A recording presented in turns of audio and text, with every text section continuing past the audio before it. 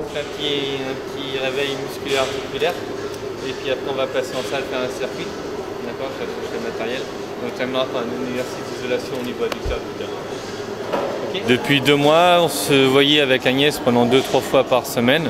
On faisait des petites euh, séances de 45 à 1 heure, ça suffisait, parce qu'elle a quand même un passé sportif qui est considérable.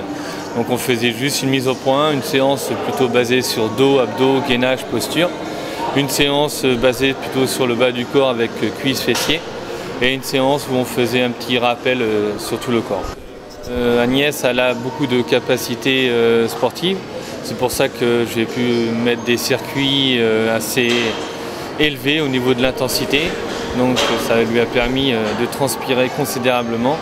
Et euh, elle-même maintenant est très contente parce qu'il y a du galbe musculaire, il y a une posture qui s'affiche. Donc euh, on a les bases pour avoir peut-être un top 5 à l'arrivée. Allez, dans les bras, on décolle, on monte le ventre, ça les abdos, bien tendu. Presse, presse, presse, c'est parti. Une, deux, Allez, un peu plus large. Voilà. Et toujours avec eux. Yes.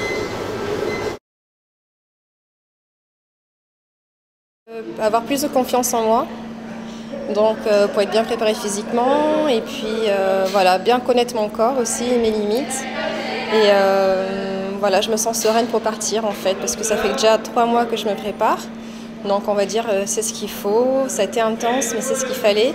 Et euh, je me sens vraiment sereine pour partir là lundi à Miss France.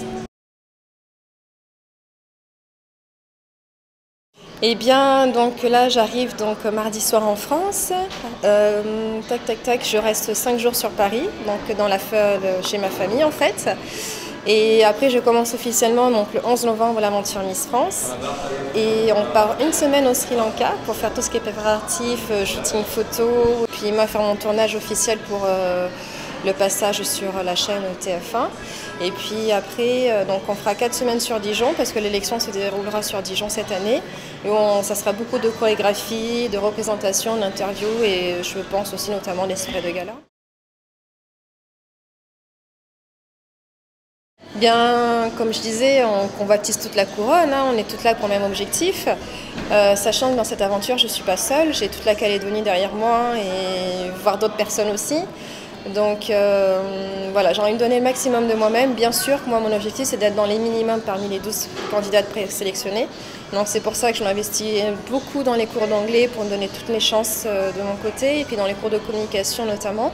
Et oui, le minimum, c'est parmi les 12. Après, une fois que je serai sur scène, je sais que ça sera comme ici, je prendrai beaucoup de plaisir. Donc j'espère que le public sera réceptif à ce plaisir-là et on verra bien, hein. on croise les doigts. Eh ben, merci beaucoup de m'avoir soutenu euh, et j'espère que vous serez fiers de moi et je ferai le maximum de moi-même pour euh, représenter les couleurs calédoniennes et, et on croise les doigts. Rendez-vous le 8 dimanche, dimanche 8 décembre au petit matin avec le décalage horaire. Allez, là tu montes bien le bassin et tu contractes l'arrière des cuisses et en même temps tu contractes les fessiers. Allez, lève, voilà. Appuie sur le ballon.